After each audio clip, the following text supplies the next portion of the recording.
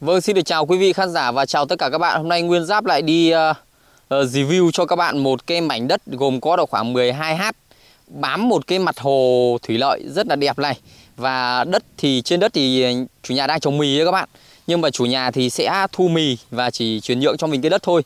Từ đây mà các bạn đi ra đến trung tâm xã và ra đến chỗ nhà Giáp ấy khoảng 4 km và ra đến chỗ ăn chơi nhảy múa của cấp huyện đấy thì nó vào tầm ờ, độ khoảng 45 cây khoảng 45 km đấy các bạn. Và từ đây mà ra đến trung tâm thành phố Pleiku Gia Lai thì khoảng 65 cây, đó là nơi ờ, đi ra trung tâm chỗ sân bay đấy các bạn.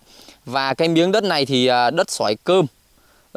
Theo cái hình thù phía đất thì rất là đẹp, nó còn là một cái mu các bạn, đúng nguyên một cái mu luôn là không phải à, là cái đất này mấy cái mu như đợt trước mà đúng một cái mu này bên này thì bám suối nước khe là chảy cái tè tè luôn rất nhiều nước các bạn ạ và cái mé bên kia thì cũng là là là bám suối. Nói chung là múc múc mương như này xung quanh hết rồi. Thì bây giờ cụ thể là giáp sẽ quay cho các bạn à, cùng coi. Là như thế này, trên đất đây đây là trùng mì và khá là bằng phẳng. Đấy, cái giá mong muốn của cái anh chủ này là 100 triệu một ha. Cái lý do mà anh ấy cần chuyển nhượng toàn bộ cái mảnh này, nó nó cũng đơn giản đấy các bạn. Nó không có gì. Anh này thì anh ấy cũng mua được chuyển nhượng lại. Chuyển nhượng hay chuyển nhượng để anh ấy làm. Nhưng mà cái lý do mà anh ấy lại muốn chuyển nhượng đi ấy là là do là lấy lên đây rồi là suốt ngày ở và làm lụng ở trên này. Là không về với vợ con là vợ nó dọa bỏ các bạn ạ. Bảo là bây giờ nếu mà ông mà không về ông ở với tôi thì là là là, là, là tôi bỏ ông đấy. Thế là anh này anh ấy sợ vợ bỏ. Thế nên nên là anh mới bảo là thôi thì thì, thì là, là tất cả là vì em. Nên là anh ấy bảo thôi đi bây giờ cũng chuyển nhượng lại. Thế nên bây giờ có một cái lời khuyên cho các bạn nếu mà ai mà đi lấy cái mảnh này ấy thì các bạn cũng lên là là là dẫn vợ đi. Rồi vợ bảo ừ ok em vào đây em ở cùng anh thì nghe chừng nó còn xuôi xuôi các bạn, chứ không thì thì vợ lại dọa, lại bảo là không về là lại bỏ thì nguy hiểm quá. Đây như các bạn nhìn thấy là đây là toàn bộ đây là mì. Đây thì vào đây quay cho các bạn xem cái nhà, đấy. Ừ, ừ, ờ, quay cho cái nhà, vừa nãy đi ra định quay cho các bạn xem cái đường. Tất cả đường xá đi lại là ô tô, là bán tải, xe 4 chỗ, là đi ok. Đường gọi là container các bạn phi vào vẫn được. Đường rất là to, rất đẹp luôn. Và phía bên kia ấy thì là Ờ, các bác ờ, ở dưới Bình Định lên là trồng dưa hấu là những cái ờ, tròi cái bạt đấy các bạn nhìn cái tròi cái bạt rất đẹp luôn. Riêng về phần dưa hấu thì dưa hấu tuyệt vời. Nhìn như là một cái cánh đồng nhìn rất đẹp. Đấy rất bằng phẳng dưa hấu bên cạnh nhà mình thôi. Còn bên nhà mình thì là uh, năm trước cho thuê trồng dưa rồi nên là năm nay là phải trồng mì thì báo cáo ở à, đây, đây đây cái nhà đây đây quay cho các bạn xem nhà đấy. Nếu mà không có vợ thì nhà cửa nó sẽ như thế này đấy các bạn ạ. Đấy cửa to cửa bé là nhà nhìn sao. Đấy nên là cái cái cái không có cái, cái người vợ là nó nó như vậy đấy nên là là, là là anh ấy này cần chuyển nhượng. Thì bây giờ là mình sẽ đi theo cái đường này. Mình đi mình đang đứng ở trên cái gọi là cái ghe này là cái mu mà đang đứng ở trên chóp mu. Đây bây giờ đang đứng ở trên cái trên mu thì bây giờ mình phải đi xuống dưới cái mu ở dưới kia vì cái đất này nó hơi mu mu nhá các bạn. Mình nói ra là đúng cái sự thật thôi các bạn đừng có uh, nghĩ uh, linh tinh gì cả. Nên là cái suy nghĩ là nó, nó mình thích cái suy nghĩ của các bạn thôi chứ các bạn đừng có nghĩ như thế. Đấy. Mà mình cũng không biết là mình đang nói gì với các bạn nữa. Đấy nói một lúc rồi nó cũng lộn hết cả tù phèo lên. Thế bây giờ báo cáo với mọi người là đất thì đang trồng mì. Vì đất này là ờ, là các bạn thông báo với các bạn là không ngập úng gì cả. Nếu mà ngập úng nó không trồng mì được. Nếu mà trồng mì mà ngập úng ấy thì là cây mì sẽ nó sẽ bị thối hết củ là không được. Đấy. Ờ, điện đóm thì ở đây thì chưa có các bạn ạ.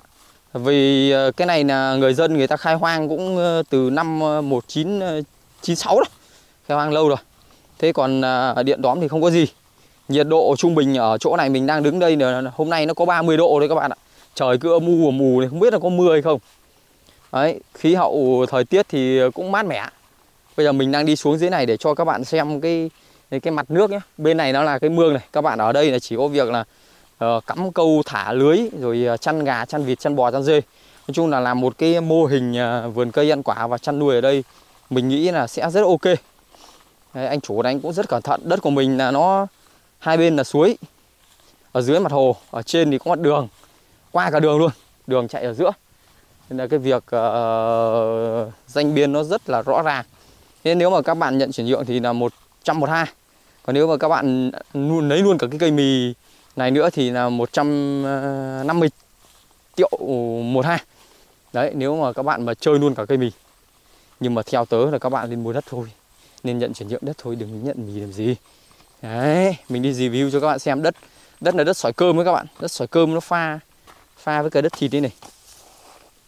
Đấy chất đất này như này, vàng vàng này các bạn ạ. Đây, mì thì nghe cũng có được. Bây giờ mình đang ờ, tìm cái đường để mình đi xuống cái kia để cho các bạn xem cái mặt hồ nói tóm lại là nó cũng hơi bị dài đấy các bạn ạ. Thế bây giờ báo cáo với mọi người là đất thì đang trồng mì. Vì đất này là là các bạn thông báo với các bạn là không ngập úng gì cả. Nếu mà ngập úng là không trồng mì được. Nếu mà trồng mì mà ngập úng ấy thì là cây mì sẽ nó sẽ bị thối hết củ là không được. Đấy ờ, điện đóm thì ở đây thì chưa có các bạn ạ. Vì ờ, cái này là người dân người ta khai hoang cũng ờ, từ năm 1996 đó, khai hoang lâu rồi thế còn à, điện đóm thì không có gì. Nhiệt độ trung bình ở chỗ này mình đang đứng đây là hôm nay nó có 30 độ đấy các bạn ạ. Trời cứ âm u mù này không biết là có mưa hay không. Đấy khí hậu thời tiết thì cũng mát mẻ. Bây giờ mình đang đi xuống dưới này để cho các bạn xem cái cái mặt nước nhé bên này nó là cái mương này các bạn ở đây là chỉ có việc là uh, cắm câu thả lưới rồi ờ, chăn gà chăn vịt chăn bò chăn dê. Nói chung là làm một cái mô hình uh, vườn cây ăn quả và chăn nuôi ở đây mình nghĩ là sẽ rất ok.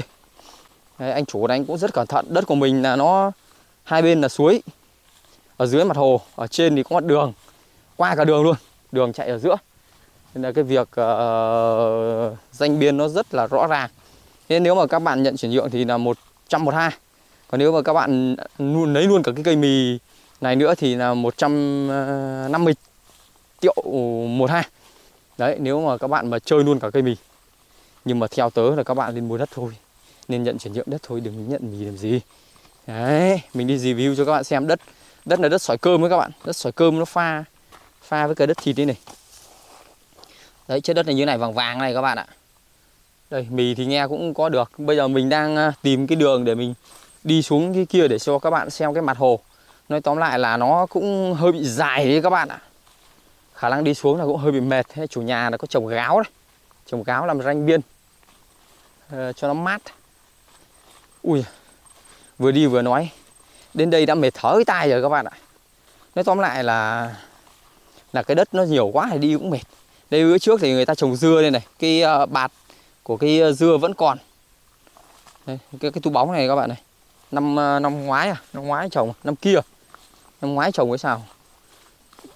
Thế là bây giờ thì là phải nếu các bạn cho thuê dưa thì thì cũng phải chờ nhé thuê dưa thì thông báo với các bạn là một hát thuê dưa ở ngay cái vị trí này thì khoảng à, vào hai chục hai chục triệu một hát nếu cho thuê dưa ở đây. Là vào khoảng 20 triệu một hát nếu mà cho thuê là 3 tháng thôi. Còn trong vòng 3 tháng là các bạn lại tiếp tục cho, ngoài 3 tháng là cho thuê trồng mì khoảng 10 triệu một hát nhé. Là một năm 3 năm mới được một lần. Là các bạn à, một lần được cho thuê 30 triệu đấy, khoảng đấy. Và ở đây nếu trồng cây dược liệu, mình nghĩ là chắc rất ok luôn. Dược liệu trồng dừa, trồng chuối, trồng tre. Trồng tre thì đẹp đúng tuyệt vời luôn đất này mà trồng tre đấy măng thì đẹp lắm các bạn ạ. Nguồn nước rồi đất nó bằng mà. Mù mù này nó cũng nói chung là cũng ok. Ở dưới này có suối vịt trời bay đầy các bạn ạ. Ui mệt thế các bạn. Thôi đi tắt đi nhá. Xin mời các bạn là đi tắt tắt thẳng vào đây. Chỗ này là rất nhiều các cái cây hà thổ ô. Đó, chết đất thì cũng được. Đất này mà trồng nhãn trồng vải này trồng chôm chôm trồng cây ăn trái nói chung là cũng ok. Hoặc là trồng dừa trồng mít trồng dưa trồng cái gì cũng, cũng được các bạn. Đất nó cũng khá là cao. Mùa này là mùa nước lớn nhất ở khu đây rồi nhưng mà nó chỉ được như thế này thôi. Nó không thể là lớn hơn được. Cái vườn dưa thì họ trồng bên kia. Bên kia thì người dân của bình định là ở trong xã ia mình đây là thủ phủ của dưa hấu rồi các bạn. Riêng là dưa hấu ở trong mình là nó quá mạnh luôn. Quá nhiều luôn. Năm nào cũng thế. Hôm nào có dịp mà mời các bạn vào thăm à, trong này xem à, khu đất trong này như nào nhá đây các bạn nhìn này toàn bộ đây. Mình đứng quay thực tế ở dưới chân này. Nó rất bằng phẳng. Cây mì thì cũng không được tốt lắm do là anh này anh ấy không không chăm được các bạn ạ. Lý do là đấy các bạn ấy thấy là mình cũng bảo với các bạn lý do từ đầu là anh ấy nó như thế. Thì bây giờ nó chỉ còn những cái này thôi. Thì uh, các bạn ai có nhu cầu thì là vào đây này. Nhận chuyển nhượng cái mảnh này là trồng trọt được này. Nhất cái chỗ này mà chuyên để làm cái trang trại gì đấy. Chăn thả chất là trâu bò đấy, các bạn ạ. Mình muốn đi xuống cái mé này để cho các bạn được nhìn thấy cái đập nước bằng cái ờ, cái cái hình ảnh ở dưới dưới ấy này. Ui giời ơi, Đi thế này là đứt nhị rồi các bạn ơi. Ui, ra chỗ này cỏ nó rộng này. Ui chịu rồi các bạn ơi. Thì ờ, muốn đi nhanh nhưng mà thành ra đi chậm rồi. Lạc rồi. Ui giời ơi. Thế này thì lại, lại đi lại lâu hơn.